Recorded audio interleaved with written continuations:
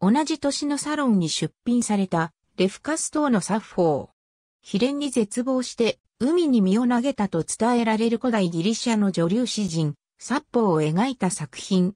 バイユー、ジェラール男爵美術館所蔵。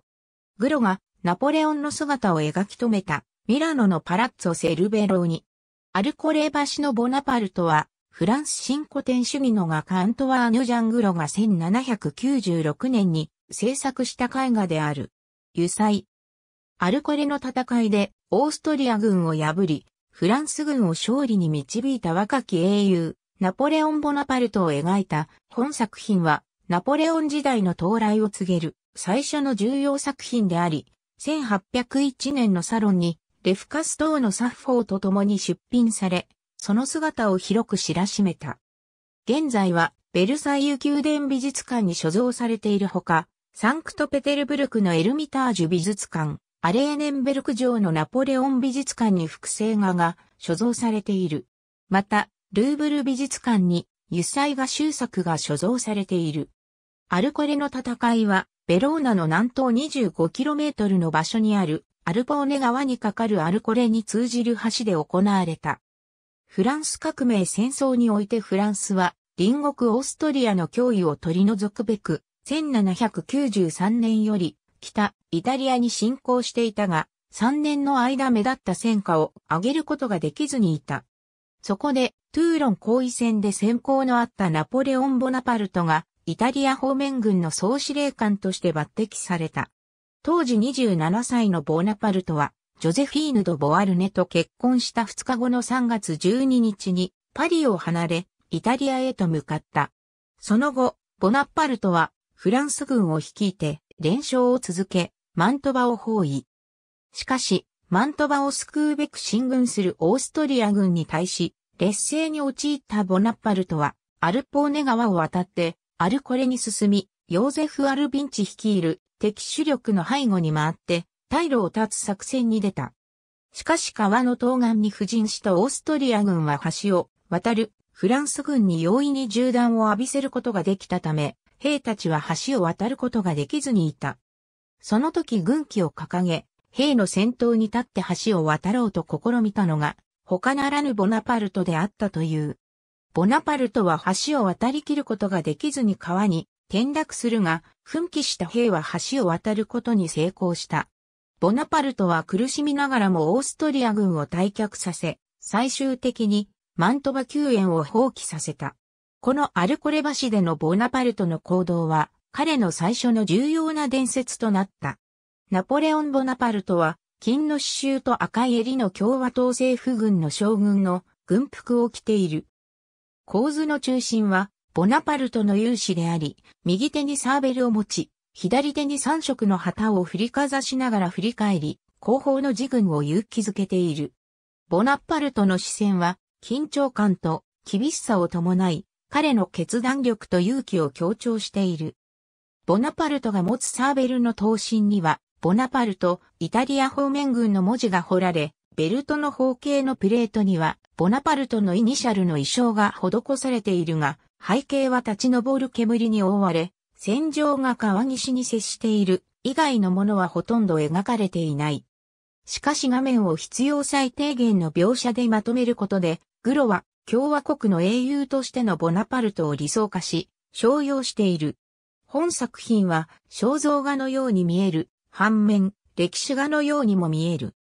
もともと本作品は、ジョゼフィーヌの依頼で肖像画として制作されたが、当時陸軍中尉としてイタリアに滞在し、アルコレ橋でのボナパルトの行動の一部始終を目撃したグロは歴史画として成功させたいと考えたのだろう。グロはミラノのパラッツォ・セルベローニでボナパルトに何度かポーズを取ってもらうことができたが、短期で落ち着きのないナポレオンに絵画のモデルを務めてもらうことは難しかった。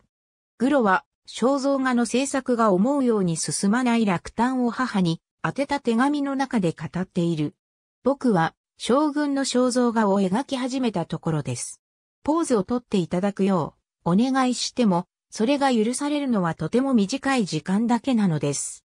顔つきの特徴を描き留め、その後でできる限り、それに肖像画的な外観を与えるというやり方に甘んずるしかありません。11月29日は作品のためにボナパルトに会うことができた最後の日であった。女流画家、ビジェル・ブランの甥にあたるジャスティン・トリピエル・ブランによると、この日はジョゼフィーヌが肖像画制作のためにわざわざボナパルトの膝の上に座り、ボナパルトが動かないように取り計らってくれたという。その後、グロはナポリで作品を仕上げ、絵画を気に入ったナポレオンはグロを従軍させた。またジョゼフィーヌは翌年、ゼンプとの間に生まれた息子ジェーヌ・ド・ボアルネと娘オルタンス・ド・ボアルネにボナパルトの勇姿を伝えるため、グロに複製画の制作を依頼した。この2枚の複製画は後に、エルミタージュ美術館とアレーネンベルク城のナポレオン美術館に伝わるバージョンとなった。1796年の油彩画集作。時にタブローよりも優れているとされる場合もある。ルーブル美術館所蔵。ウジェーヌ・ドラクロワの1830年の絵画、民衆を導く自由の女神。本作品は1796年にナポリで描かれた後、ナポレオン・ボナパルト自身のコレクションを経由してフランス、第二帝世紀にナポレオン三世のコレクションとなった。フランスは1870年に不仏戦争に敗れ、敗位となったナポレオン三世は、その翌年に絵画を皇后ウージェニード・モンティージョに予託、3年後にナポレオン三世が死去すると、ウージェニーは1879年にルーブル美術館に寄贈した。絵画は1881年にベルサイユ宮殿美術館に返還され、1901年にコンピエーニュ城美術館、1938年に再びベルサイユ宮殿美術館に収められて現在に至る。最も初期の油彩画集作で空丹コレクションに由来する。貿易商であったルイ・ジョセフ・オーギュスト・空丹は優れた絵画の収集家でもあった。1830年及び1839年に彼と夫人が世を去った後、コレクションは義理の兄弟の画家フェルディナンド・ハウゲ、さらにその息子モーリス・ジャック・アルベール・ハウゲに受け継がれた。アルベールはコレクションがおじ空丹の名で、ルーブル美術館に寄贈されることを希望した。その後コレクションは、アンティーブのリュシエンヌ層に保管された後1883年にルーブル美術館に収蔵された。もともとミュンヘンのロイヒテンベルク校、ウジェーヌ・ド・ボワルネのコレクションに由来する。ウジェーヌは1805年にバイエルン王国王女オギュスタ・アメリード・バビエールと結婚した。彼女の父マクシミリアン一世は、両親が離婚しさらにイタリアを失ったウジェーヌのために1817年にロヒテンベルク公を創設した。ウジェーヌはフランスに戻らず、ミュンヘンで家族と共に暮らし、1824年に死去。彼の第二子で、第三代、ロヒテンベルク公を継承したマクシミリアンド・ボワルネは、ロシア大公女、マリア・ニコラエブナと結婚し、サンクトペテルブルクに移り住んだ。こうして絵画はドイツから最終的にロシアにもたらされ、1924年にエルミタージュ美術館に収蔵された。